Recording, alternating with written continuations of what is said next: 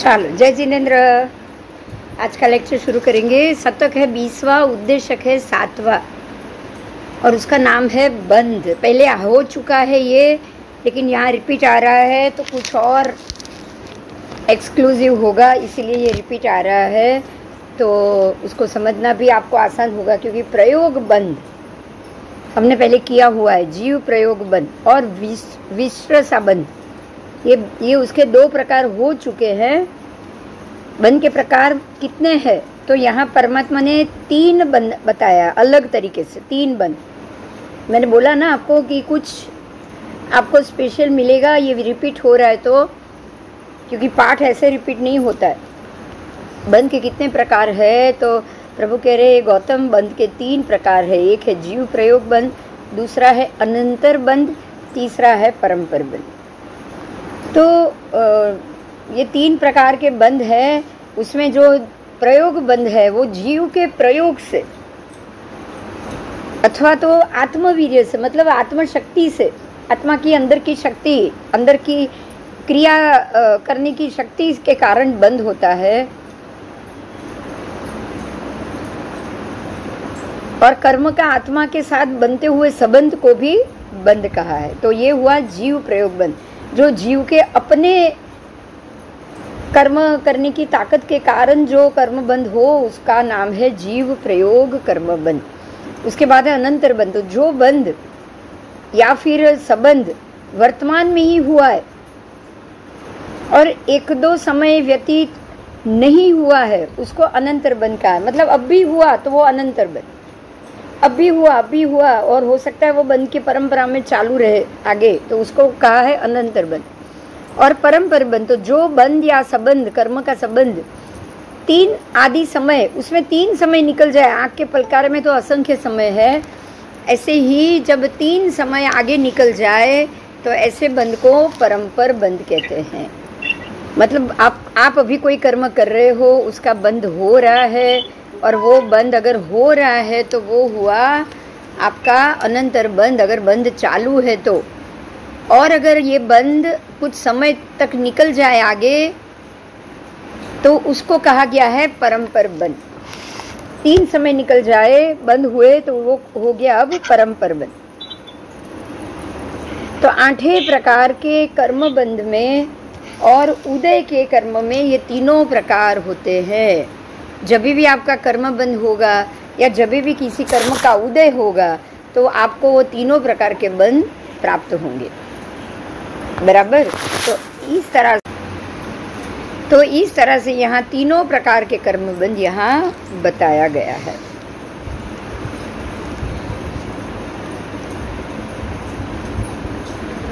बराबर? तो यहाँ वही आ गया ना, भूतकालीन, वर्तमान और भविष्य काल मतलब अभी जो चालू है वो, वर्तमान जो बंद हो चुका है वो, और दो तीन समय निकल गया है और अब वापस कर्म बंद कर रहे हो। तो भूतकाल और वर्तमान काल, यहाँ दो ही बंद आया। आठे प्रकार के बंध में, कर्म बंध में और उदय कर्म में, जब उदय में आएगा तभी भी ये तीनों प्रकार होते हैं जीव प्रयोग बंद, अनंतर बंद और परम्पर बंद। पाँच शरीर, चार संज्ञा, छह लेश्या आदि कर्म रूप नहीं है। वो कर्मजन्य भाव है। ध्यान से सुनिएगा। पाँच शरीर, चार संज्ञा, छह लेश्या, ये सब कर्म रूप नहीं है। वो कर्म की वर्गणाएँ नहीं है वो, लेकिन वो कर्मजन्य भाव है। तो जब भी कर्म की वर्णा, वर्गणा लगेगी, इसमें से किसी न किसी भाव को पकड़ के ही लगेगी। उसी में तदयोग्य पुद्गलों को संबंध होना और तजनित कर्मों के बंध में पूर्ववत त्रिविधता होती है। तीन प्रकार से इसलिए जब भी इनके साथ संबंध होगा कर्म का कर्म ज, कर्म रूप और कर्मजन्य भाव जब ये दोनों का संबंध होगा कार्मण वर्गणा और कर्मजन्य भाव तब वो तीन प्रकार से ही बंधेंगे। जीव प्रयोग बंध अनंतर बंध और परम्पर बंध ज्ञान अज्ञान आत्म भाव रूप होता है।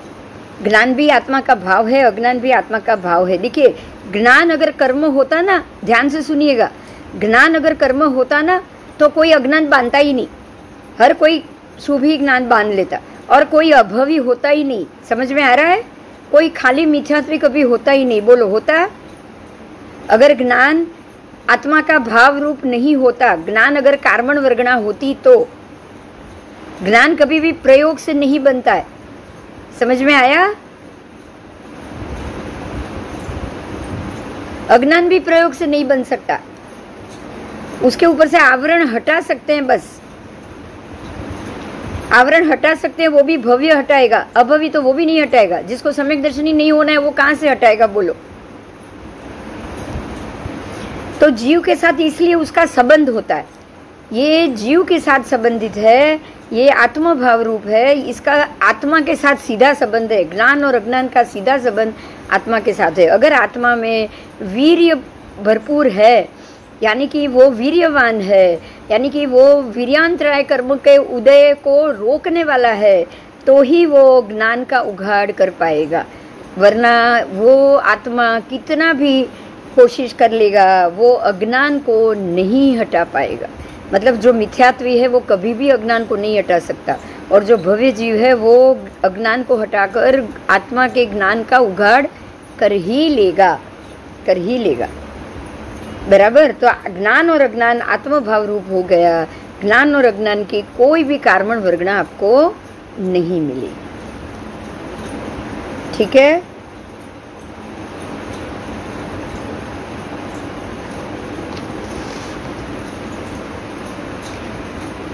कितना भी अज्ञानी हो, कितना भी मिथ्यात्वी हो, कभी भी सम्यक ज्ञान को वो खींच कर ला नहीं पाएगा। क्योंकि आत्मा के भाव है, जब उसके आत्मा के भाव ही मिथ्यात्व के हैं तो कहाँ से सम्यक ज्ञान आएगा, सोचो।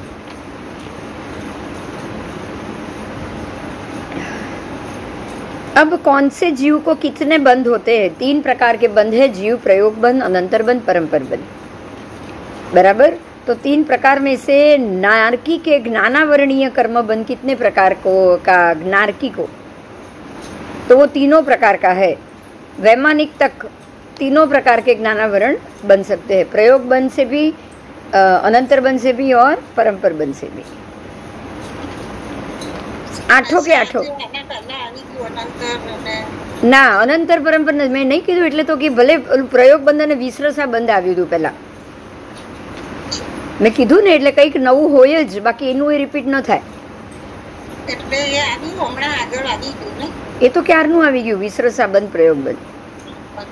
એ તો ક્યારનું? બે મહિના પહેલાં આવી ગયું.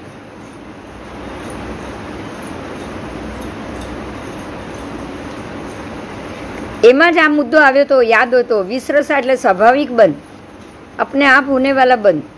प्रयोग जीव खुद करता है विश्रसा स्वाभाविक है। तब भी मैंने बोला था कि जिनके चार घाती कर्म के उघाड़ होना होगा, आत्म प्रदेशों में से चार उघाड़ हुआ होगा तो वो घाती का, जिनके आठों खुले हैं, वो ही घाती और अघाती दोनों के क्षय कर पाएगा। बराबर? और जिनके चार ही उघाड़ होंगे ना, वो तो अघाती का ही क्षय करेगा, घाती का कभी भी क्षय नहीं कर पाएगा। याद है मैंने बोला था जाति भव्य और अभव्य। जिनके चार का ही उघाड़ है, वो अभवी जीव है और जिनके आठों के आठों बंद पड़े, जिनके चार बंद पड़े हैं, वो अभवी और जिनके आठों के आठों बंद पड़े हैं, वो जाति भव्य मैंने पहले बोला था, याद आया? तो वो हो गया हाँ तो वो हो गया विश्रसा बंद। इसको बहुत अच्छे से समझना है। और वही बंद अभी रिपीट में आ रहा है। तो यहाँ आपको ये चीज़ जानने को मिली कि ज्ञान और अज्ञान आत्मा के भाव है, आप देखो, अगर अगर वो भाव नहीं होते तो ज्ञानावरण, दर्शनावरण का क्षय आप कर पाते कि नहीं? हर जीव कर पाता कि नहीं? अगर हर जीव कर लेता तो कोई अभवी या जाति भव्य होता? बोलो। हाँ होता ही नहीं। जाति भव्य होता क्यों? अभव्य होता ही क्यों? अगर ज्ञानावरण, कर्म के भी कार्मण वर्गणा से आप उसको हटा सकते हो तो। तो ये आत्मभाव है और आत्मभाव हमेशा स्वाभाविक ही होता है। किसी जीव को आत्मभाव के हिसाब से आठों के आठों प्रदेश बंद रहते तो वो अज्ञान के भाव हो गए उसकी आत्मा में? हो गए ना? हाँ। और किसी आत्मा में चार ही कर्म खुल सकते हैं चार नहीं तो वो घाती कर्म का क्षय कभी नहीं होगा। इसलिए वो अभवी है। उसको अघाती के तो होते हैं। आप समझ लो कि जो जिनके जा, जो जाति भव्य है ना उनके तो अघाती भी कर्मक्षय नहीं होते वो तो आयुष्य का बंध भी नहीं बांधता है। ये भी मैंने बोला था याद है पहले? बोलो घनोदति का जीव घनोदति में ही जाएगा। तनोदति का जीव तनोदति में ही जाएगा। पृथ्वी का, का जीव हमेशा पृथ्वी का में रहेगा। नित्य निगोद सुना है कि नहीं? हाँ। तो वो निगोद के गोले के जीव निगोद के गोले में ही रहेंगे। मतलब क्या उनके तो आठों के आठों प्रदेश ढके हुए पड़े। तो जिनके आठों ढके हुए पड़े हैं बोलो वो घाती अघाती दोनों का क्षय नहीं कर पाएगा बराबर? जो जो अपने अपना शरीर जो इंद्रिय में है वो उसमें से बाहर निकलने की उसमें शक्ति है? नहीं। नहीं है। तो ये क्या हुआ? ये आत्मभाव हुआ कि नहीं अज्ञान उसका? हाँ। वो कभी भी ज्ञान का उघाड़ कर पाएगा? मतलब आप ज्ञानावरण कर्म खींच के कर पाओ, ये पॉसिबल ही नहीं है। अगर आपके आत्मा में ज्ञान भव्यता है और आप में वो वीर्यांतराय का, की कैपेसिटी है, समझ में आ रहा है? हाँ अगर अंतराय कर्म को दूर करने की कैपेसिटी है वीर्यांतराय को दूर करने की तो ही आपका ज्ञानावरण का उगाड़ हो पाएगा। बराबर? हाँ। तो आठों कर्म का दूर करने की शक्यता और उसकी शक्ति भाव, भव्य जीव में है। चार घाती को दूर करने की शक्ति और चार अघाती कर्म, आठों कर्म को दूर नहीं करने की जो आप अशक्ति बोलोगे जो दूर नहीं कर पाए ऐसी अशक्ति जाति भव्य जीव में बराबर? और चार अघाती को दूर करने की शक्ति। अघाती तो वो दूर करता ही जाएगा नाम कर्म बनता जाएगा, फिर वो गोत्र बदलता जाएगा, उसको वो खत्म करेगा, नीच गोत्र को खत्म करके ऊंच गोत्र का बंद करता रहेगा। पर चार घाती का वो क्षय ही नहीं कर पाएगा कभी भी। समझ में आया? उसके चार ही उघाड़ है, आठों उघाड़ है ही नहीं। उसके आठों उघाड़ है ही नहीं। और इसी में वही चार भांगे आएँगे। वो चार भांगे आए थे तभी इसको समझाया था मैंने। अपना है ना सादी शांत सादी अनंत अनादि शांत अनादि अनंत वही चार भांगे आएँगे इसमें। बराबर? हाँ। हाँ जिनके सादी शांत है जिनकी आदि भी है और अंत भी है उनके आठों के आठों खुले हैं बराबर? उनके आठों प्रदेश खुले वो भव्य जीव है। और जिनकी शादी है, लेकिन अनंत काल तक वो वहाँ से बाहर नहीं आएँगे। शादी है, लेकिन अनंत काल तक उनकी मुक्ति नहीं है तो वो अभवी जीव हुए। क्योंकि उनकी आदि तो होती है ना हर एक भव में। मनुष्य भव मिला, देव भव मिला तो आदि तो हुई। आदि हुई, पर अनंत काल तक घूमना ही घूमना है। मतलब क्या हुआ कि उनके चार घाती तो वो बदलते रहेंगे लेकिन चार घाती को वो हटा ही नहीं पाएँगे। तो चार का ही उगाड़ अब उसके बाद आओ अनादि अनंत। अनादि काल से वही पड़े हैं अनंत काल तक वही रहेंगे एक ही जाति से बाहर नहीं आएँगे। उनके आठों के आठों बंद पड़े हुए तो वो जाति भव्य हो गए? हाँ। हाँ वो जाति भव्य हो गए उनके आठों के आठों बंद पड़े। और अनादि शांत। बराबर अनादि है जिनकी लेकिन शांत है अंत अंत ज़रूर है। उनका अंत हाँ। ज़रूर है। अब अनादि काल तक वो वहाँ पहुँच गए हैं वहाँ वहाँ से वापस नहीं आएँगे। वो कौन होंगे? सिद्ध। सिद्ध के जीव। बराबर? तो इस प्रकार से क्योंकि उनके आठों के आठों उघाड़ हो चुके देखिए आठों का उघाड़ होना आठों का उघाड़ हो सकना। आठवें से चार का ही उघाड़ होना और किसी का उघाड़ नहीं होना। चारों प्रकार के जीव आए कि नहीं आपके सामने? हाँ। आओ। तो इसी से आपको जीवों के बारे में मालूम पड़ेगा। और ये किसके कारण हुआ? तो स- अनादि बंद अरे विश्रसा बंद और प्रयोग बंद ये किसके कारण हो पाया? विश्रसा बंद और स्वाभाविक स्वाभाविक बंद आओ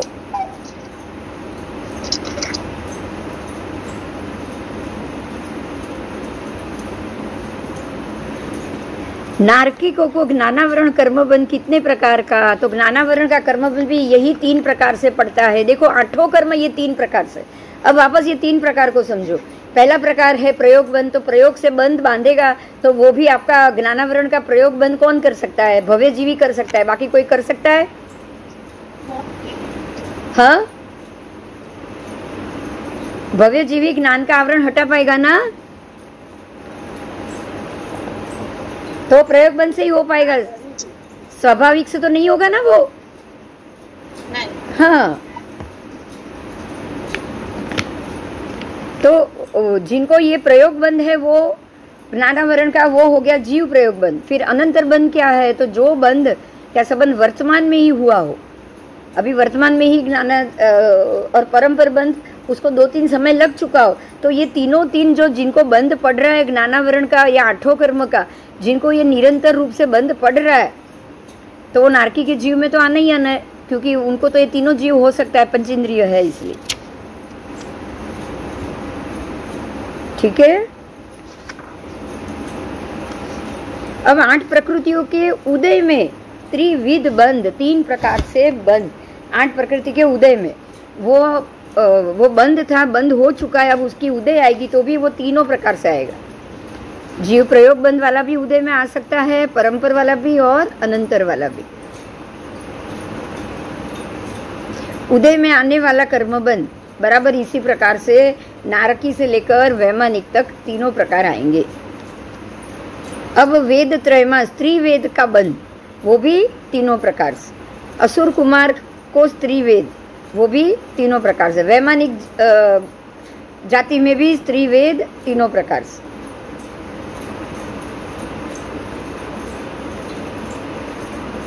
तो पुरुष वेद, स्त्री वेद और नपुंसक वेद तीनों प्रकार के वेद आएँगे। तीनों तीनों को तीनों प्रकार के वेद आएँगे।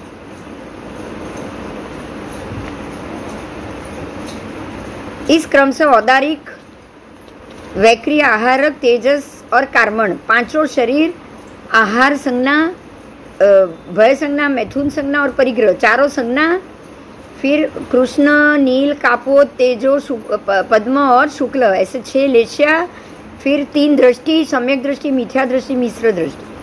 और मति ज्ञान श्रुत ज्ञान फिर अवधि ज्ञान मन ज्ञान और केवल ज्ञान। पाँचों के पाँच ज्ञान। फिर मति अज्ञान श्रुत अज्ञान और विभव ज्ञान तीनों अज्ञान। ये सर्व का बंध भी तीनों प्रकार से होगा। कितने प्रकार से? तीनों तीनों प्रकार से होगा। विभंग ज्ञान जो देवों को होता है उसका भी बंध कितने प्रकार का तो वो भी तीन प्रकार जीव प्रयोग बंद अनंतर बंद और परंपर क्योंकि वो चालू ही रहेगा चालू रहेगा तो परंपर अनंतर तो आना ही आना है બરાબર સમજમાં આવી ગયું બોલો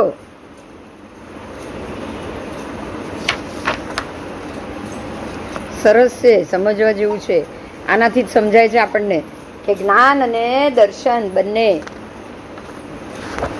જ્ઞાનાવરણ અરે જ્ઞાન અને અજ્ઞાન બંને જ્ઞાન અને અજ્ઞાન બંને આત્માના ભાવરૂપ છે મનુષ્યથી બાંધાવાનું અથવા છોડવાનું કે કોઈ પણ જીવથી શક્ય નથી બરાબર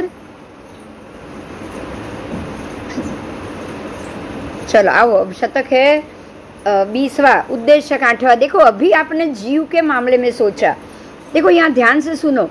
जैसे जीव में है ना, भव्य अभव्य, जाति भव्य। भव्य अभव्य, जाति भव्य जीव में आ गए तो जीवों में, सर्व प्रकार के जीवों में आएगा ना?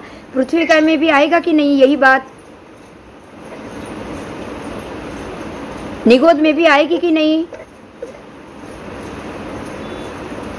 नित्य निगोद है ना?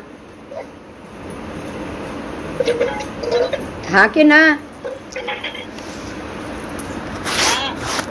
नित्य निगोद में भी आएगा। उसके बाद ये चीज़ आपको पृथ्वी का है अप का है तेऊ का है। देखो पृथ्वी का में मरुदेवा माता थे और उसी में से सीधे तीसरे भाव में मोक्ष गए। तो वहाँ ही उनको वहाँ भी उनको मिला कि नहीं मिला? मोक्ष की साधना का साधन मिला कि नहीं? अकाम निर्जरा वही हाँ अकाम निर्जरा वहीं पे ही हुई ना?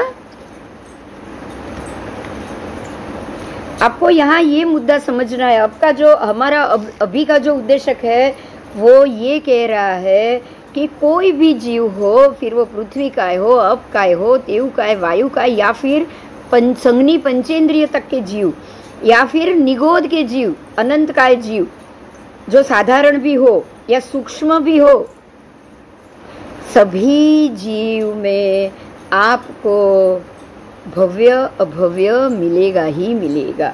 तो जब पृथ्वी काय में भव्य अभव्य आ गया तो ज़मीन में भी भव्य अभव्य आएगा कि नहीं बताओ? अपने आप। तो अपकाय में भी भव्य अभव्य आएगा कि नहीं? हाँ हाँ। कि भाई ये पानी सूटेबल है ये पानी सूटेबल नहीं है आएगा कि नहीं आएगा बताओ? तो पृथ्वी काय अप काय तेऊ है, वायु का है, वनस्पति का है, सब में ये चीज़ आएगी, सब में। आपको मैं अब ये समझाऊं कि ये मात्र ढाई द्वीप को छोड़ के और ढाई द्वीप में भी आपको कर्म भूमि और अकर्म भूमि मिलती है। मिलती है कि नहीं मिलती है? तो कर्म भूमि के अपकाय तेवकाय वायुकाय वनस्पति काय शुद्ध होते हैं और अकर्म भूमि के ऐसे मिलेंगे कि वहाँ का अन्न खाके भी आपको मोक्ष नहीं होगा। बोलो होगा?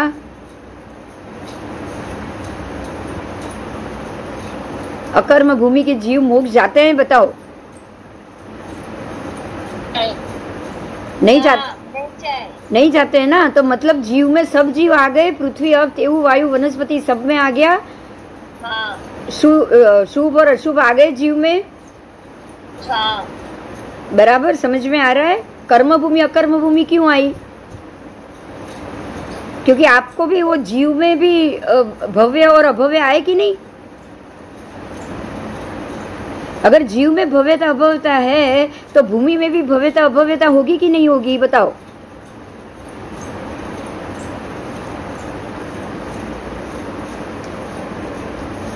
ढाई द्वीप छोड़ के असंख्य द्वीप समुद्र है। सबका पानी सबकी वहाँ की मछलियाँ वहाँ के पानी के जलचर जीव वहाँ के ज़मीन के ऊपर के बाकी के जलचर जीव अरे खेचर जीव वहाँ उड़ने वाले अरे वहाँ पे आपको पानी में तो जीव मिलेंगे ही मिलेंगे। पानी में से जीव कोई मगर वगर या कछुआ होगा तो जम, ज़मीन पर घूमने वाला भी मिलेगा। मिलेगा कि नहीं बताओ?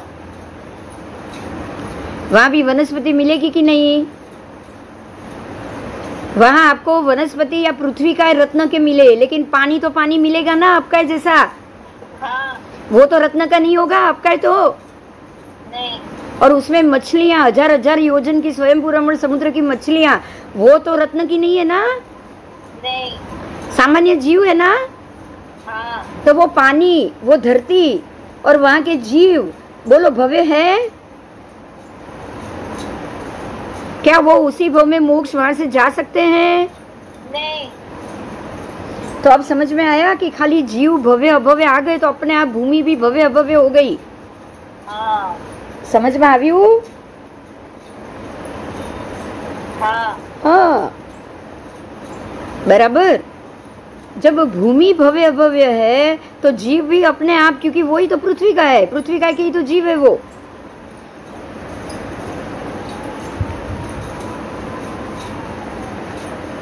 चलो। तो जो ढाई द्वीप है कर्म भूमि उसमें से पंद्रह कर्म भूमि पाँच भरत, पाँच ऐरावत, पाँच महाविद्य क्षेत्र। और बाकी की तीस अकर्म भूमि वो ढाई द्वीप में से पाँचों हेमवत क्षेत्र, पाँचों हिरण्यवत क्षेत्र, पाँचों हरिवत क्षेत्र, पाँचों रम्य क्षेत्र, पाँचों देवकुरु और पाँचों के पाँचों उत्तर कुरु वो सब आपको अकर्म भूमि ही मिलेगी। और उसके बाद के बाकी के सारे द्वीप समुद्र में, सब की सब भूमि कैसी? कर्म भूमि है कहीं भी?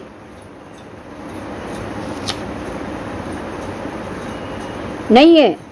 नहीं है। नहीं है। तो कर्म भूमि का अर्थ क्या हुआ? कि जहाँ पर आप शस्त्र विद्या असी मसी कृषि यानी कि खेती मसी यानी लेखन विद्या और असी का अर्थ है शस्त्र विद्या ये तीन चीज़ हो। असी मसी कृषि और आजीविका के अन्य साधन हो।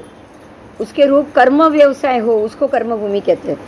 क्योंकि अकर्म भूमि में आपको खेती की ज़रूरत नहीं पड़ती। वहाँ पर वनस्पति अपने आप उग जाती है वहाँ पे कल्प वृक्ष अपने आप उग जाते हैं। लेकिन ये कल्प वृक्ष होने के बावजूद भी उनमें से कोई भी जीव मोक्ष नहीं जा पाएगा। बराबर? उसमें भव्यता नहीं है। पुण्य ज़रूर है लेकिन भव्यता नहीं है। समझ में आ रहा है? हाँ। ज़्यादा पुण्य बांधोगे ना तो आपको बनाएँगे वो युगलिक। हाँ ज़्यादा पुण्य बांधो, आप बन जाओगे युगलिक। और ज़्यादा पाप बांधो, आप पहुँच जाओगे तिरियंच और नरक में। हमको मध्यम में रहना है, मनुष्य बनना है, पंचेंद्रिय बनना है, और फिर मोक्ष जाना है। आओ, अभी कर्म कर्म में काल परिवर्तन कैसे होता है? उत्सर्पिणी और अवसर्पिणी रूप, काल कर्म अकर्म भूमि में कहीं नहीं है तो अकर्म भूमि में भी नहीं है और बाहर के जो द्वीप असंख्य द्वीप समुद्र है, उसमें भी नहीं है। मात्र पाँच भरत, पाँच एरावत पाँच महाविदे की दस ही भूमि में, उत्सर्पिणी, अवसर्पिणी मात्र पाँच भरत में और पाँच एरावत में उत्सर्पिणी, अवसर्पिणी। महाविदय में भी उत्सर्पिणी, अवसर्पिणी नहीं। हाँ लेकिन है वो कर्म भूमि उसका कारण ये है कि ग्रह का घूमना ये पाँच भरत पाँच एरावत के ऊपर से होता है। ग्रह पूरा ज्योतिष चक्र, गोल चौड़ा घुमा हुआ है और जम्बू द्वीप के बाहर के ही सिर्फ़ बाहर के एरिया से लेकर अंदर 180 योजन के एरिया में ही वो घूम रहे। ठीक है? और वहाँ पे कहीं पे भी महाविदय क्षेत्र का एरिया आता नहीं है। वहाँ पर पाँच भरत पाँच एरावत सभी ढाई द्वीप के आएँगे। और यही कारण है कि ये उत्सर्पिणी, अवसर्पिणी, ये ग्रह के घूमने के कारण, क्योंकि वही ग्रह घूमते घूमते अधो में भी चार करेंगे। पहले ऊर्ध्व में होंगे धीरे धीरे मध्य में आएँगे, और मध्य के आरे में और धीरे धीरे अंतिम आरे में वो नीचे उतर जाएँगे। तो वो अशुभ अंतिम आरा, पांचवा छठा आरा होगा दूषम काल का। फिर वापस वो छठा आरे से ऊपर चढ़ेगा, बराबर मीडियम में मध्यम में पहुंचेगा तो वो मध्यम आरा आ जाएगा। जहाँ पर तीर्थंकर सब होंगे फिर धीरे धीरे ऊपर चढ़ेगा तो वो पहला दूसरा आरा आ जाएगा सुषम वाला। तो ये ग्रहों के घूमने के कारण ही, और ये दसों जो पाँच भरत, पाँच ऐरावत, वो दसों पृथ्वी के ऊपर ही, भरत पृथ्वी और ऐरावत पृथ्वी के ऊपर से ही घूम रहा है। और यही कारण है कि इनके ऊपर से घूमने के, ये क्षेत्रों के ऊपर से घूमने के कारण ही, मात्र इस दस क्षेत्रों में ही उत्सर्पिणी और अवसर्पिणी होती है। बराबर? महाविदय क्षेत्र में और नो उत्सर्पिणी नो अवसर्पिणी वहां का काल अवस्थित है क्योंकि ग्रह बहुत दूर है वहां कुछ भी नहीं घटेगा नहीं अवगाना घटेगी नहीं कुछ घटेगा ग्रह की असर ही नहीं है वहां पे સમજમાં આવી ગયું બધું બોલો તો આગળ જવું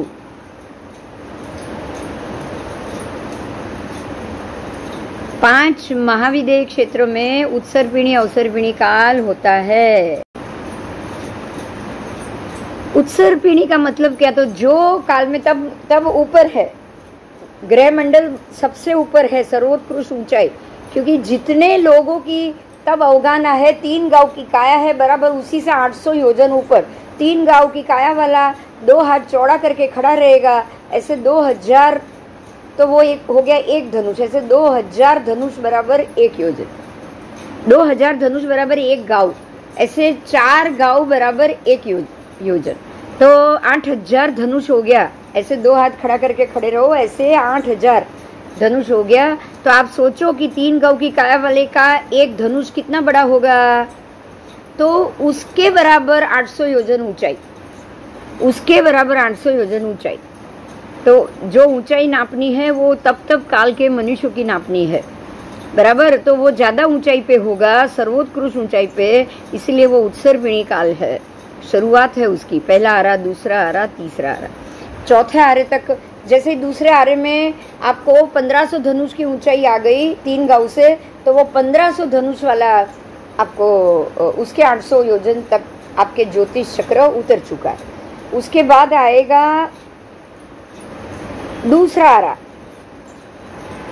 दूसरा आरा बोल दिया मैंने। तीसरा आरा। तीसरा आरा तक वो 500 धनुष की काया आ जाएगी।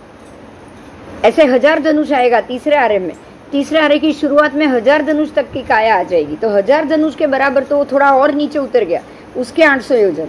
अब तीसरे आरे के अंत में अंत में परमात्मा का जन्म हुआ है। 500 धनुष की काया हो गई हज़ार से। 500 धनुष की काया। तो वो इतना नीचे उतर चुका है 500 योजन के 500 धनुष की काया के दो हाथ खुला रखेगा, ऐसे आठ हज़ार धनुष बराबर एक योजन। तो अब वो तीन गाँव से 500 धनुष की तो हाथ बहुत कम हो जाएगा। तो बराबर ज्योतिष चक्र का घूमना भी नीचे उतर चुका है, मध्य में आ गया है। तो अब वो 500 धनुष की काया वाला जब मध्य में आ गया है तो अब वो ऐसी आपको असुर असर देगा कि अब यहाँ से कल्प वृक्ष भी विलीन हो गए और लोगों की अवगाहना भी अब ये धीरे धीरे धीरे धीरे आपकी कर्म भूमि बन गई। धीरे धीरे असी मसी कृषि उगाने लगा, उगाने पड़ेगा। अब तक कल्प वृक्ष से अब आपको उगाना पड़ेगा। तो जैसे ही असी मसी कृषि के योग्य भरत क्षेत्र हिरावत क्षेत्र हो जाएगा, तब ही जाकर यहाँ से मोक्ष मार्ग खुलेगा। तो आदिनाथ भगवान का जन्म होगा उनके जन्म होने के बाद उनकी दीक्षा होगी। दीक्षा होने के बाद उनका केवल ज्ञान होगा। अब ये कितना समय हुआ? चौरासी लाख पूर्व में से आप आप सोच सकते हो उनको केवल ज्ञान तिरासी लाख पूर्व में होता है बराबर? हाँ, बस एक ही लाख पूर्व का ही केवल ही पर्याय होता है। तो जब तो अपने आप चौथा आरा आ गया कि नहीं? तीस, तीसरे आरे के अंतिम चौरासी पखवाड़िये में भगवान का जन्म हुआ है। लेकिन भगवान को केवल ज्ञान कब हुआ?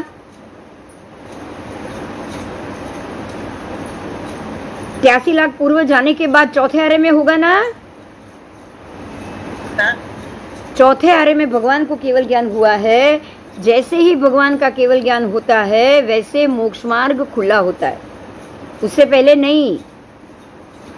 तो जैसे आदिनाथ भगवान को केवल ज्ञान हुआ, मोक्ष मार्ग खुला और परमात्मा को केवल ज्ञान होने के बाद तुरंत ही मरुदेवा माता भी केवली हुए और वो सबसे पहले मोक्ष मार्ग में गए। ये पूरे उत्सर पीढ़ी, अवसर पीढ़ी में, इस काल चक्र में मरुदेवा माता पहले मोक्ष गए, ये उत्सर पीढ़ी में। बराबर, अवसर पीढ़ी में।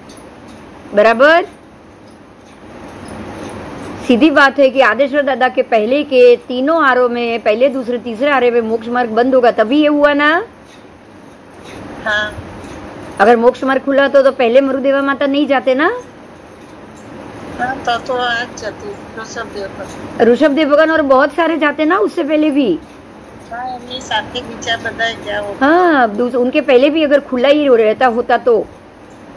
अब समझ में आ गया मोक्ष मार्ग हमेशा खुला नहीं रहता है? परमात्मा की हाजिरी के बाद ही खुलता है। परमात्मा केवली होंगे बाद में ही खुलेगा।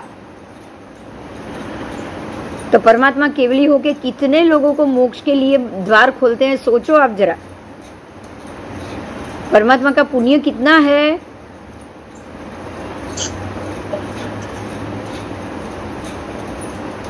कि मोक्ष का मार्ग तक खुल जाता है, उनके केवली होने से होने पर ही।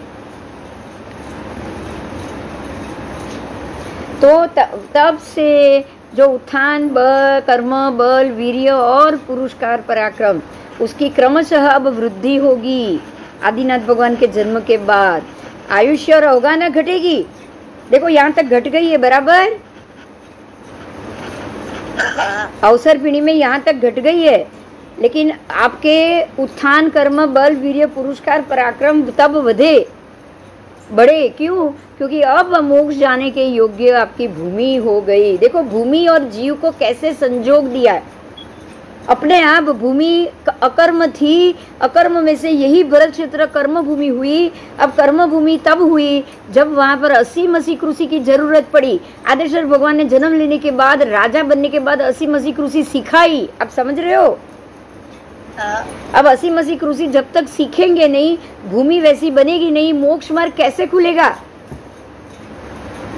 तब तक भी अकर्म भूमि है। बराबर? हाँ, हाँ बहुत कुछ आज जानने को मिल रहा है।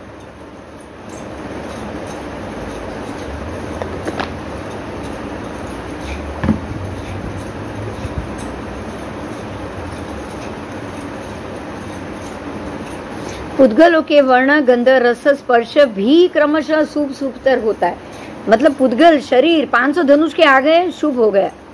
उससे पहले 600 धनुष वाले शुभ नहीं है।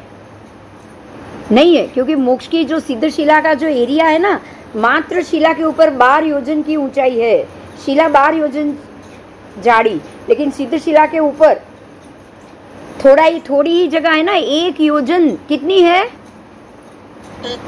और उसके छठे भाग में एक योजन का छठा भाग यानी कि साढ़े तीन सौ धनुष, उससे ज़्यादा नहीं। एक योजन का छठा भाग कितना होता है?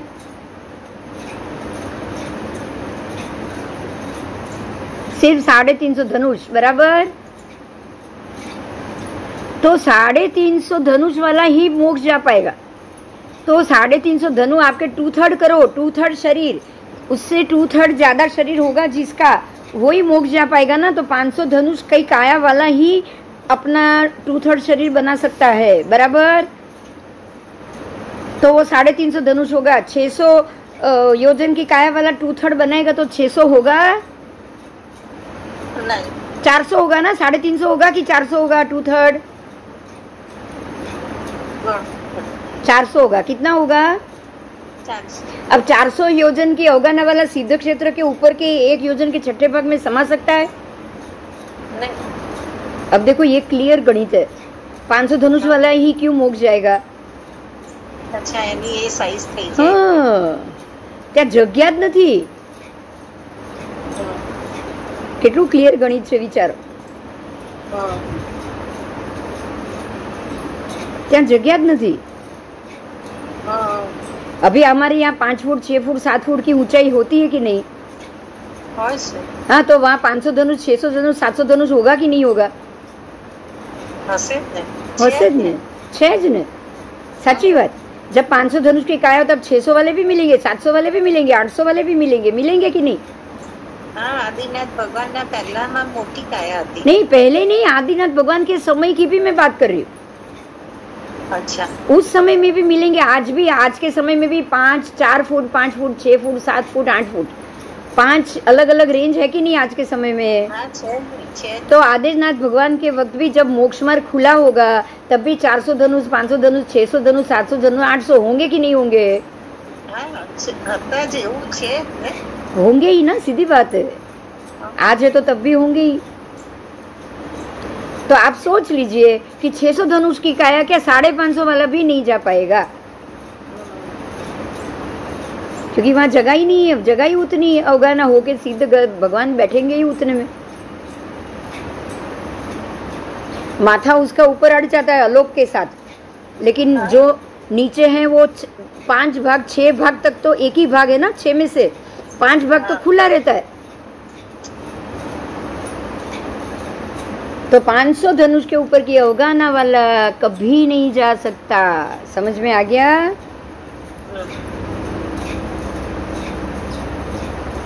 आओ।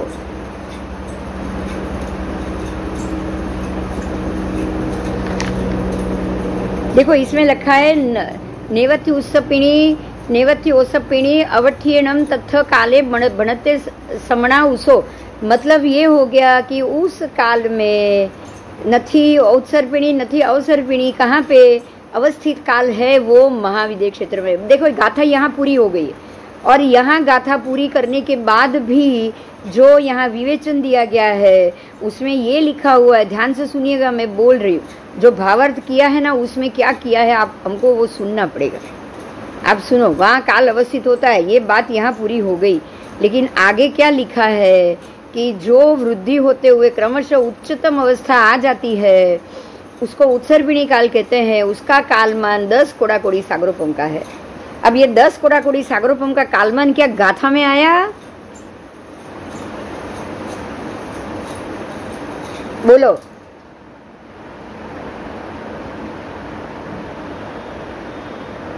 તો ભાવાર્થમાં આવ્યું એટલે ગાથામાં હશે ને? નથી હું બોલી ગઈ ગાથા ફરીથી બોલું અચ્છા ગાથામાં નહીં આવ્યું મને હા હા અને પછી ભાવાર્થમાં નથી વિવેચનમાં જ વિવેચનમાં છે હા. भावार्थ में नहीं भाव भावार्थ में गाथा का जो वर्ड है उसका ही भाषांतर किया उसमें नहीं है सिर्फ इतना ही है कि हे भगवान पांच भरत पांच तेरह क्षेत्र में उत्सर्पिणी अवसर्पिणी काल है हाँ है हे- और महाविद्य क्षेत्र में उत्सर्पिणी अवसर्पिणी काल नहीं है हे आयुष्मान श्रमण वहाँ अवस्थित काल होता है बस आपकी गाथा पूरी हो गई અને પછી એક્સ્ટ્રા લખ્યું છે એક્સ્ટ્રા વિવેચનમાં આ લખ્યું છે કે જો- જ્યારે વર્ણ पुद्गलों के वर्ण गंध रस स्पर्श क्रमशः शुभ शुभतर होते हैं तब वृद्धि होते हुए उसमें उच्चतम अवस्था आ जाती है उसको उत्सर्पिणी काल कहते हैं और उसका काल दस कोड़ाकोड़ी सागरोपम है મતલબ એ એ છે કે આ દસ કોડાકોડીનો ટાઈમ ગાથામાં નથી મૂળમાં નથી. સમજાય બસ એટલે આ આ કેલ્ક્યુલેશન પરમાત્માના કથન નથી. આ સમજી લેવાનું બસ. સમજાય છે? હા પણ આ પરમાત્માનું કથન નથી. આ પરમાત્માનું કથન નથી. અચ્છા હમ. મૂળ પાઠમાં નથી તો આમાં નથી આમાં નથી તો પછી બીજા ટાઈમ નું પણ નહીં જ હોય ને કે પાંચમો આરો કેટલા વખતનો એ તો છે ને પાંચમો આરો આટલા જો વખતનો હવે આવશે. સમજવાનું શું છે જો અહીંયા અત્યારે આ મુદ્દો ખાસ નીકળ્યો છે એટલે હું કહું છું સાંભળ મુદ્દો શું છે ખબર છે જ્યારે તમારે આપણામાં જ્યારે અહીંયા ચોવીસ ભગવાન થાય છે ને હમ, तो अपना चौबीस तीर्थंकर हमारे जो चौबीस तीर्थंकर है आदिनाथ भगवान से लेके महावीर स्वामी तक चौबीस भगवान हो गए હમ.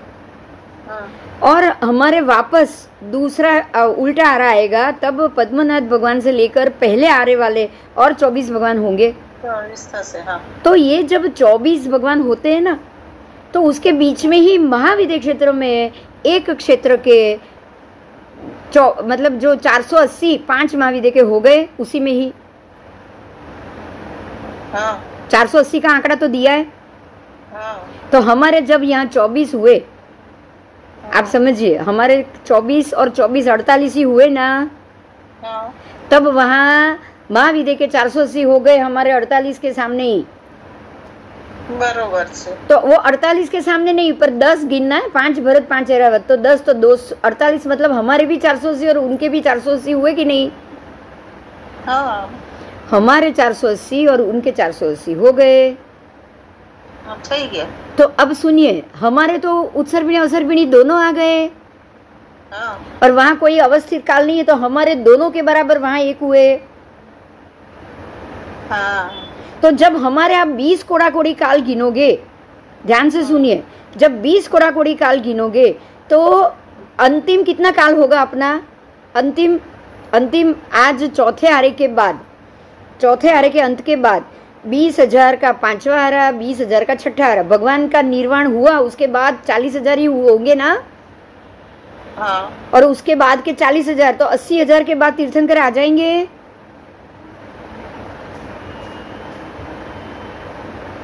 हमारे यहाँ महावीर महावीर स्वामी के बाद पद्मनाथ भगवान कितने समय में आएँगे? પણ પાંચમો અને છઠ્ઠો આરો બે જવા દેવાના अरे आप पांचवा भी लो चलो पांचवा भी लो तो एक कोड़ा कोड़ी न्यून चालीस हजार है पांचवा आरा હા एक कोड़ा कोड़ी न्यून चालीस हजार चौथा आरा पांचवा नहीं चौथा आरा હા तो न्यून जो चालीस हजार है तो बीस बीस जोड़ोगे तो चौथा पांचवा छठा एक कोड़ा कोड़ी हुआ હા क्योंकि आपने वो चालीस हजार उसमें जोड़ दिए હા पांचवें छठे का तो चौथा हरा कितना हुआ एक कोड़ाकोड़ी चार पाँच छः तीनों पीछे के आ रहे एक कोड़ाकोड़ी हुए हाँ। अच्छा ऐसे ही अब अब उल्टा वो छः पाँच और चार वो भी एक कोड़ाकोड़ी होंगे हाँ। अब ध्यान से सुनिए वो एक कोड़ाकोड़ी और ये एक कोड़ाकोड़ी तो दो कोड़ाकोड़ी में ही हर जगह तीर्थंकर जन्मेंगे कि नहीं हाँ। तो बाकी के अठारह कोड़ाकोड़ी में कोई भगवान नहीं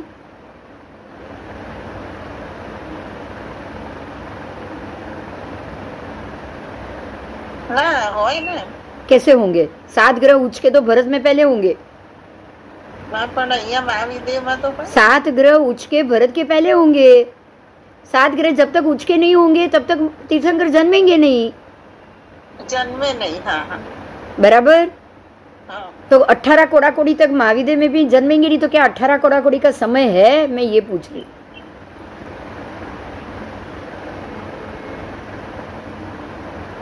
તો સિમંદર ભગવાનનું આયુષ્ય કેટલું છે अरे पहले ये मुद्दे पे आओ वो छोड़ो आप अभी कर्म भूमि अकर्म भूमि पर दूसरा क्वेश्चन नहीं હા હા देखो अब ये बताओ भरत क्षेत्र में को कर्म भूमि बोला गया है હા भरत क्षेत्र को कर्म भूमि बोला गया है હા હા हाँ तो कर्म भूमि पर ये तो कर्म अकर्म दोनों हो गई हाँ भरत क्षेत्र में कर्म अकर्म दोनों भूमि हो गई हाँ हाँ तो ये साढ़ा पच्चीस जो आर्य देश है वो कभी भी कर्म से अकर्म हो सकते हैं ये बताओ चलो। साढ़ा पच्चीस जो हमारे आर्य देश है भरत क्षेत्र के हाँ। वो कभी भी कर्म से अकर्म कब होंगे? अकर्म भी बनते हैं ना वो? तो हाँ तो जब भी अकर्म है जब भी वो अकर्म है कर्म तो खाली दो ही कोड़ाकुड़ी में हुए हाँ तो वो दो कोड़ाकुड़ी के बाद अट्ठारह कोड़ाकुड़ी के बाद वापस भगवान जन्मेंगे ना उत्सर पीढ़ी आएगी तब हाँ हाँ हाँ तो अट्ठारह कोड़ाकोड़ी तक महाविद्य में भी कैसे भगवान जन्मेंगे અચ્છા ઓલા ગ્રહો આમ આમ થાય જ નહીં એટલે हाँ सात ग्रह उचके होंगे तो भरत में पहले होंगे तो सात ग्रह उचके हुए तो भरत में तो परमात्मा चाहिए कि नहीं वैसे ही क्यों छह क्यों भूमि है ये बताओ महाविद्य में छह भूमि क्यों है मेरू पर्वत पर छह भूमि क्यों है वो जो शिला छह शिला क्यों रखी है? क्योंकि छह के छह एक साथ जन्म लेते हैं तब ना? हाँ, कोई भी एक मेरू पर्वत पर छह शिला क्यों होती है? भगवान ने इतना जन्मे हो हाँ आगे पीछे जन्मे तो ज़रूरत पड़ेगी छह शिला की? नहीं। एक साथ जन्मेंगे 24 घंटे में तभी छह शिला है ना? तो नहीं तो छह एक साथ क्यों चाहिए बताओ। बराबर। तो ये जब नियम लगेंगे ना तब अट्ठारह कोड़ा कोड़ी तो होता ही नहीं है। अब ये नियम आएगा। समझ में आ रहा है? हाँ। अठारह कोड़ा कोड़ी भरत क्षेत्र और ऐरावत क्षेत्र में कैसे होगा? मैं गिनाऊं हाँ। आपके बाहर के भरत के दो कोड़ा कोड़ी उसके बाद आओ अंदर हरिवर्ष क्षेत्र। वो तीन कोड़ा कोड़ी है। हाँ। हमारे अंदर का ही कितना कोड़ा कोड़ी है? तीन कोड़ा कोड़ी। तो तीन और तीन छः हुए यहाँ के और वहाँ के ऐरावत के। હા तो छः और ये दो और दो चार। छः और चार दस हो गए। હા और अब उसके अंदर के चार कोड़ा कोड़ी चार कोड़ा कोड़ी। अंदर के उसके अंदर और जाओ। देखो चार कोड़ा कोड़ी तीन कोड़ा कोड़ी दो कोड़ा कोड़ी। कितने हुए? चार और तीन सात और दो नौ। और भरत क्षेत्र का एक कोड़ा कोड़ी तो दस कोड़ा कोड़ी तो एक ही उत्सर्पिणी का हो गया तो भरत क्षेत्र में कहा सब आने वाला है? सबके सब, हाँ, हाँ। बोलो। उत्तर कुरुक्षेत्र चार कोड़ा कोड़ी है। हाँ। मेरु पर्वत के हमारे दक्षिण में दक्षिण कुरु है ना हमारे पास भरत भरत क्षेत्र के से लेकर मेरू के बीच में पहले दक्षिण कुड़ा दक्षिण कुरु आएगा? हाँ। वहाँ चार कोड़ाकोड़ी। दक्षिण कुरु के बाहर आओ। कौन सा आया? हरिवर्ष आया? हाँ। उसके तीन कोड़ाकोड़ी। मतलब वहाँ का चार कोड़ाकोड़ी बराबर यहाँ का तीन कोड़ाकोड़ी का समय है। समझ में आ रहा है। हाँ। और वही उसी के बराबर उसके बाहर दो कोड़ाकोड़ी का समय है। हेमवर्ष क्षेत्र में और उससे बाहर आप आओ तो एक कोड़ा कोड़ी जितना समय है समझ में आ रहा है? हमारा एक कोड़ा कोड़ी वहाँ के चार कोड़ा कोड़ी के बराबर हुआ।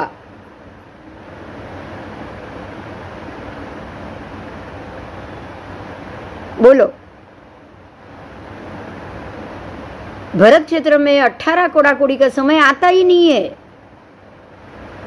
आता ही नहीं है होता ही नहीं है। ये क्लियर हो रहा है यहाँ से। क्योंकि गाथा में है ही नहीं कि उत्तर एक उत, आप, आपके उत्सर्पिणी काल का दस कोड़ा कोड़ी काल होता है। मूल पाठ में ये है ही नहीं। अच्छा। हाँ। मूल पाठ में ये है ही नहीं। चार तीन सात कोड़ा कोड़ी वहाँ हमेशा चार कोड़ा कोड़ी जैसा आ रहा उत्तर कुरु में दक्षिण कुरु में। उसके बाहर आवो हरिवर्ष में हमेशा तीन कोड़ा कोड़ी जितना आ रहा उसके बाद आवो बाहर उसमें दो कोड़ा कोड़ी हेमवत में। और भरत में एक कोड़ाकोड़ी तो एक एक आपका उत्सर्पिणी काल में अपने आप दस कोड़ाकोड़ी हो गया चारों क्षेत्र के मिलके? हाँ। चारों क्षेत्र के मिलकर देश दस कोड़ाकोड़ी होंगे खाली भरत क्षेत्र के नहीं।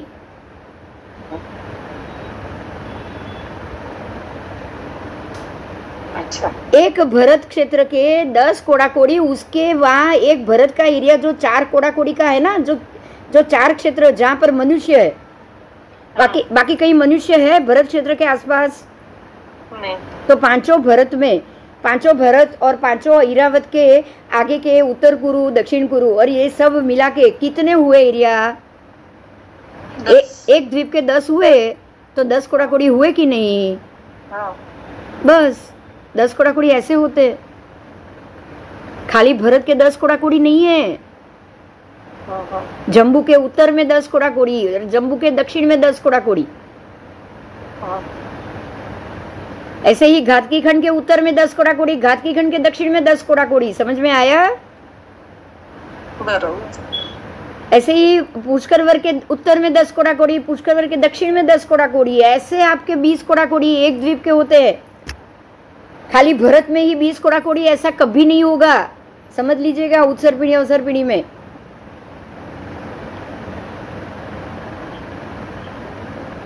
बराबर? क्लियर हुआ कि कोई प्रश्न है? बोलो।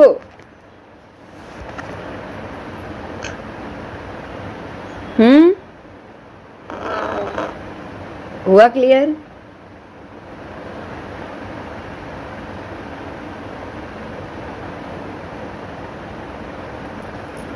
तभी जैसे ही हमारा एक कोड़ा कोड़ी में चौबीस भगवान होंगे और दूसरी कोड़ा कोड़ी में दूसरे चौबीस होंगे। बराबर बरोबर છે हाँ बराबर और उसी समय आपके दसों अ, તમે અઠાવન નથી તો તમે બીજું આ જ્યારે કર્યું ત્યારે તમને ખ્યાલ આવ્યો તો હા તો આ તો મુદ્દો તો ક્યારનો લીધેલો છે મેં સાહેબોને તો કહું જ છું ને હેલો હા સાહેબોને તો કહું જ છું ને કે અઢાર અઢાર કોડાકોડી છે જ નહીં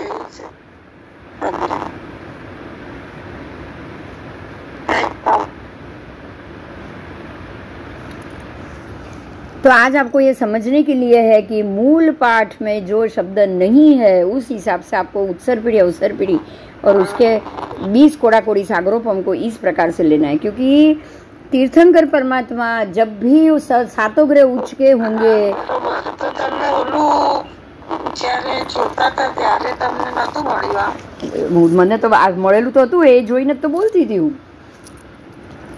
હું ઘણું જ છું એવી રીતે સાહેબોને ગણાવું છું જ એવી રીતે. હજી તું અંદર સુધી જા. જંબુ જંબુ દ્વીપ કે નહીં તારો અવાજ ઓલું ધીરો થઈ ગયો છે એટલે તને કંઈક નેટ પ્રોબ્લેમ છે. જગ્યા બદલી કાઢ જરા.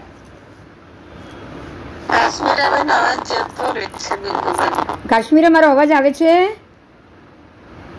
તારો અવાજ જાય છે એટલે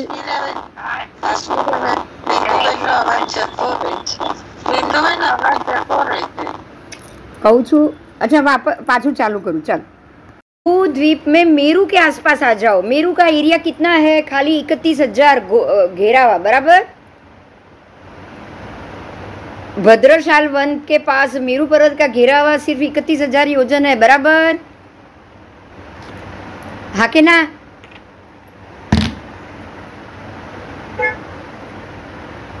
हेलो?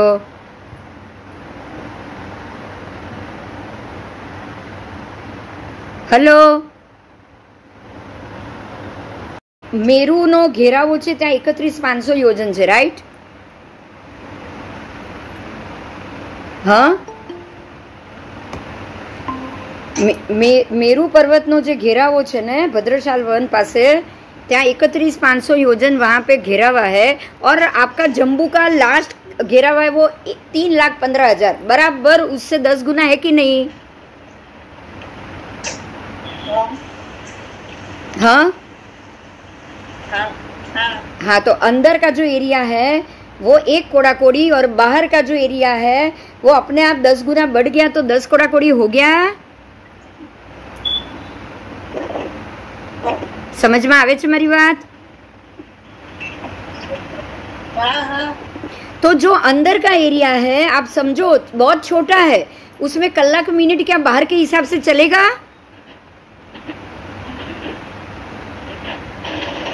देखो एरिया है, सुनो एरिया है एरिया है आपके इकतीस हज़ार पाँच सौ, उसका आधा करो। उसका सोलह हज़ार योजन में चौबीस घंटे होते हैं, सोलह हज़ार योजन में भी चौबीस घंटे और एक लाख साठ हज़ार में भी चौबीस घंटे। पॉसिबल है? कलाक मिनट का फ़र्क है कि नहीं?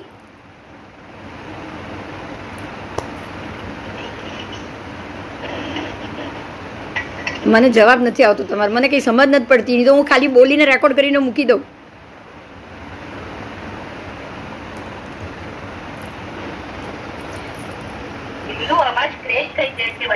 હા, તો હું હવે રેકોર્ડ કરીને મૂકી દઉં છું. તમે પછી રેકોર્ડિંગ સાંભળી લેજો. ઓકે? જેટલું સંભળાય એટલું સાંભળો.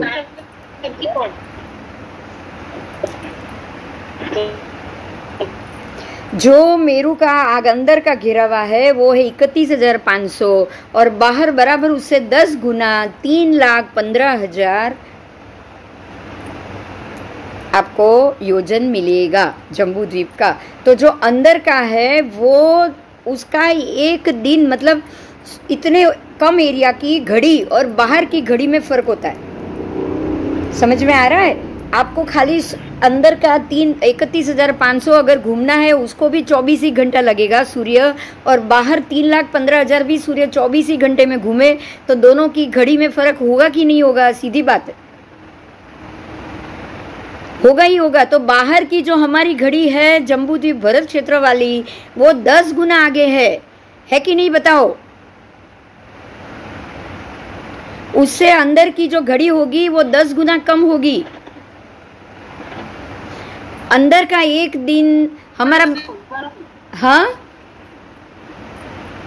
बाहर का आपका एक दिन हमारा आज का 24 घंटा आज हम जम्बू द्वीप में है भरत क्षेत्र में इसीलिए मैं कह सकती हूँ कि हमारा जब एक सूर्योदय से दूसरे सूर्योदय का 24 घंटा जाएगा वो 24 घंटे के कलाक मिनट के बराबर तीन लाख पंद्रह हज़ार योजन का 24 घंटा अगर हो, होते हो तो एक दिन हो, तीन लाख पंद्रह हज़ार योजन में अगर एक दिन गिनो आप तो उसी, उतने ही समय को आपको इकतीस हज़ार पाँच सौ में दस दिन गिनना पड़ेगा। बोलो, गिनना पड़ेगा कि नहीं? तो सीधा जवाब है कि अगर बाहर का एक कोड़ा कोड़ी का एरिया है तो अंदर का आपका एरिया अपने आप दस कोड़ा कोड़ी हो गया। बाहर का एक वर्ष, अंदर का दस वर्ष। बाहर का दस वर्ष अंदर का सौ वर्ष, बाहर का सौ वर्ष अंदर का एक हज़ार वर्ष। समझ में आ रहा है? दस गुना तो बाहर का एक कोड़ा कोड़ी, अंदर का दस कोड़ा कोड़ी। तो ये जो दस कोड़ा कोड़ी का जो गणित है ना, वो पूरे जम्बू द्वीप का बाहर के एरिया से अंदर तक है। तो हमारा भरत का एक ही कोड़ा कोड़ी में दस कोड़ा कोड़ी का उत्सर पीढ़ी का समय निकल गया और ऐसे ही प्रत्येक पाँचों भरत का एक ही कोड़ा कोड़ी में उत्सर पीढ़ी का, एक उत्सर पीढ़ी का निकला और दूसरे एक ही कोड़ा कोड़ी में दूसरे अवसर पीढ़ी का निकल गया।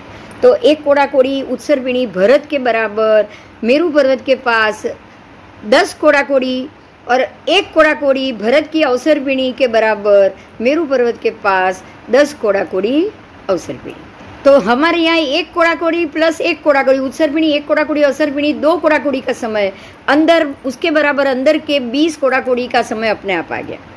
तो कभी भी हमारा भरत क्षेत्र के एरिया में ये बीस कोड़ा कोड़ी का समय जाए, समय की दृष्टि से वो पॉसिबल नहीं है।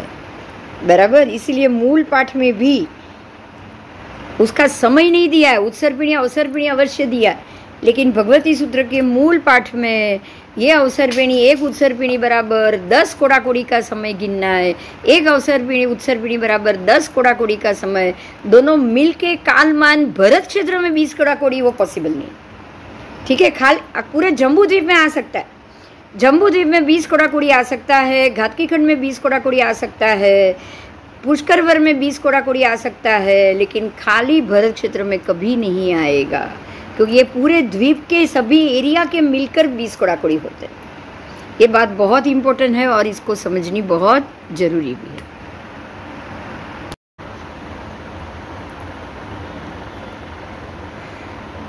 जिस काल में जीवों के संग्रहण संस्थान आदि उत्तरोत्तर अधिक अधिक शुभ होते हैं, आयुष्य अवगाना उत्तरोत्तर बढ़ती जाती है, उत्थान कर्म, बल, वीर्य और पुरस्कार पराक्रम की क्रमशः वृद्धि होती है।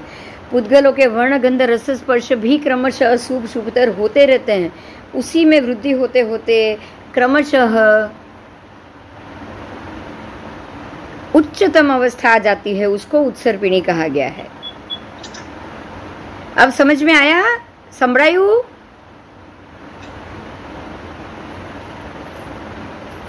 हाँ? સંભળાય आवाज़? અવાજ હું હા સંભળાયો ને બસ તો જો ફરીથી રિપીટ કરું છું સાંભળી લે.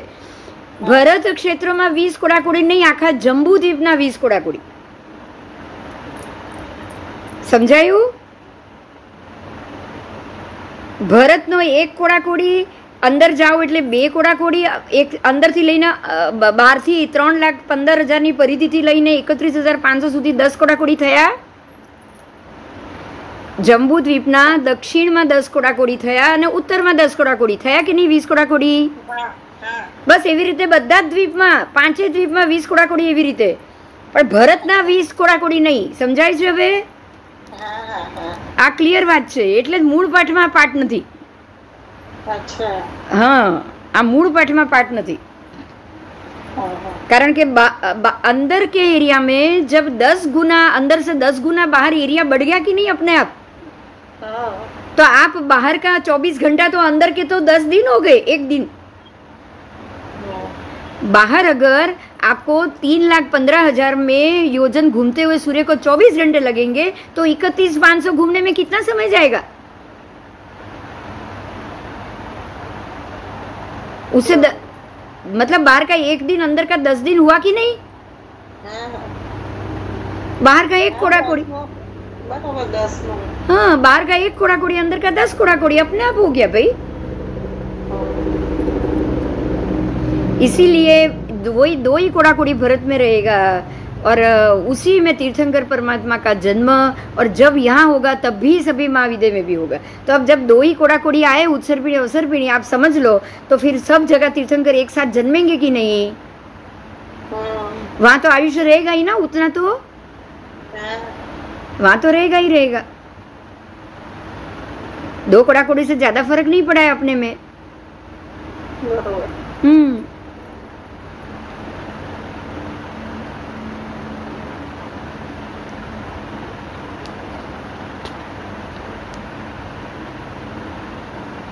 चलो, आगे। अब अवसर पीणी काल जिस काल में जीवों के संघयन संस्थान आयुष्य होगाना क्रमशः हीन होते हैं घटते जाते हैं उत्थान कर्म बल आदि भी क्रमशः हीन होते हैं। पुद्गलों के वर्णादि भी हीन हीनतर होते हैं। शुभ भाव घटते जाए अशुभ भाव बढ़ता जाए। ऐसे काल को अवसर पीणी कहा गया है। उसका कालमान भी दस कोड़ा कोड़ी सागरोपम का होता है। अब आप समझ लीजिएगा कि ये काल तो मात्र भरत में ही आया। હા अंदर तो आया ही नहीं। तो हमारा तो एक ही कोड़ा कोड़ी हमेशा रहेगा। हाँ। आप समझ रहे हो? हाँ। और अंदर में कभी एक कोड़ा कोड़ी आना ही नहीं है। बराबर?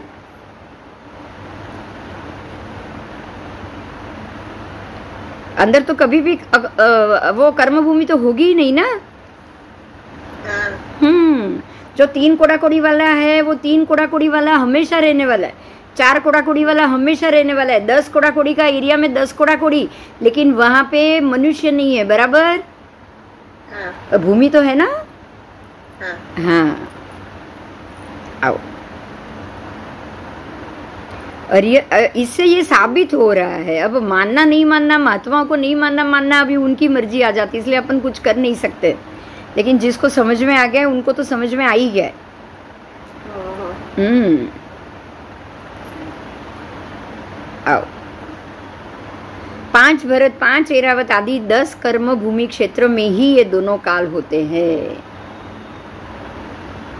वहीं पे काल का परिवर्तन होता है। महाविदय क्षेत्रों में और तीस अकर्म भूमि में अड़ीद्वीप के बाहर भी और देवलोक आदि किसी भी क्षेत्र में उत्सर पीढ़ी अवसर पीढ़ी काल होता नहीं अब समझ में आया उत्सर पीढ़ी अवसर पीढ़ी દેવલોકમાં નહીં अन्य क्षेत्रों में नहीं अकर्म भूमि में नहीं અને અડીદ્વીપની બહાર નહીં કેમ क्योंकि वहाँ पे कहीं भी सूर्य चंद्र माथे से घूमते ही नहीं है क्लियर हो गया હા तो जहाँ सूर्य घूम रहा है वहीं पे काल बदल रहा है ये भी कंफर्म हो गया ना હા जहाँ सूर्य घूम रहा है वहीं पे काल बदल रहा है तो ये भी कंफर्म हो गया तो हमारे यहाँ वो चौथे आरे जो पहले आरे जैसा दूसरे आरे जैसा तीसरे आरे जैसा चौथा आरा जैसा प्रभाव मिलेगा। उतना समय नहीं रहने वाला है। क्लियर हो रहा है? हाँ। उनको उतना प्रभाव मिल रहा है। समय नहीं हो रहा है उतना। आप सोचो ना एक कोड़ा कोड़ी में चार पाँच छह आरे आ गए तो आगे के समय में कितना समय आएगा? सोचो तो। हाँ। पहले ये भी तो सोचो। एक कोड़ा कोड़ी में तीन आरे आ गए। हाँ। हाँ तो आगे के आरे में पहला दूसरा तीसरा आरे में आधा कोड़ा कोड़ी से ज़्यादा समय नहीं आएगा। हाँ।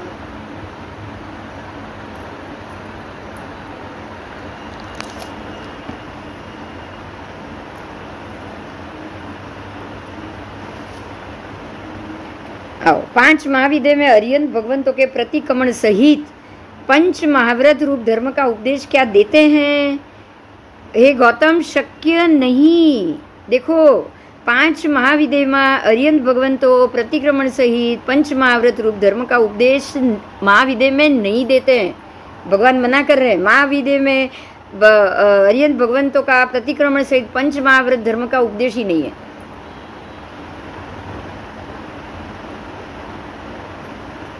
पाँच भरत और पाँच ऐरावत में प्रथम और अंतिम ये दो अरियंत भगवान ही प्रतिक्रमण सहित पाँच महाव्रत रूप धर्म का उपदेश देते।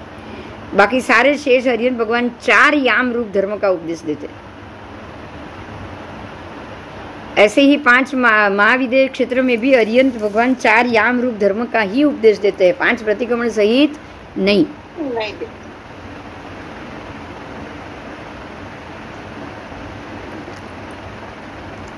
ये भी मूल पाठ में है હવે કેટલું જરૂરી છે હવે વિચારો મૂળ પાઠને જ જઈને આગળ વધવું चतुर्याम का अर्थ क्या है चतुर्याम धर्म याम यानी कि व्रत यम नियम हम बोलते हैं ना वो व्रत नियम रुजु और प्राज्ञ मनुष्यों के लिए चातुर्याम धर्म की प्ररूपणा होती है वो चतुर्याम में पहला है सर्वथा प्राणातिपात वीरमण फिर सर्वथा मृषावाद वीरमण, फिर सर्वथा अनादा अदत्तदान वीरमण और सर्वथा परिग्रह वीरमण, ये चार होता है। परिग्रह में भी ही स्त्री, धन आदि सर्व का समावेश हो जाता है। महाविद्य क्षेत्र में और भरत ऐरावत क्षेत्र में मध्य के बाईस तीर्थंकरों के शासनकाल में मनुष्य रुजु और प्राग्न होने से तीर्थंकरों परमात्मा चतुर्याम धर्म की प्ररूपणा करते हैं। रुजु और जड़ तथा वक्र और जड़ प्रकृति के मनुष्यों के लिए तीर्थंकरों ने पांच महाव्रत और सह प्रतिक्रमण रूप धर्म का उपदेश दी- देना है वो देते हैं तो पांच महाव्रत कैसे सर्वथा प्राणातिपात वीरमण सर्वथा मृषावाद वीरमण सर्वथा अदतदान वीरमण सर्वथा मैथुन वीरमण और सर्वथा परिग्रह वीरमण सर्वथा मैथुन वीरमण अलग से दिया है समझ में આવ્યું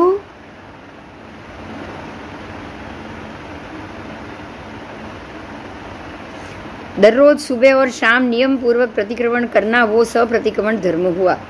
भरत ऐरवत क्षेत्र में प्रथम और अंतिम तीर्थंकरों के समय मनुष्य क्रमशः रुजु जड़ वक्र होने के कारण यहाँ पर ही इस प्रकार के सप्रतिक्रमण धर्म का प्रथम और अंतिम तीर्थंकरों के वक्र और जड़ प्र, प्रजा होने के मनुष्य होने के कारण पंच महाव्रत रूप धर्म और उभय काल प्रतिक्रमण करने रूप धर्म की प्ररूपणा कही गई है। इस प्रकार धर्म की प्ररूपणा में क्षेत्र और काल आश्रयी अंतर है और ये अंतर व्यवहार मात्र का है। तात्विक रूप में उसमें कोई भेद नहीं होता। बराबर?